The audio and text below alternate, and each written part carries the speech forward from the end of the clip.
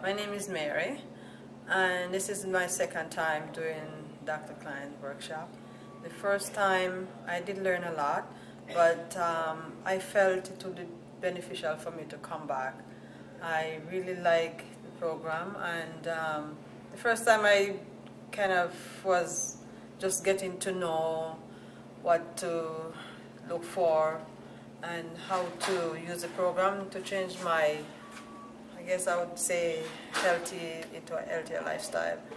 Um, this time I'm more determined um, and I've seen results, but I need to learn more about the supplement to implement it with my diet.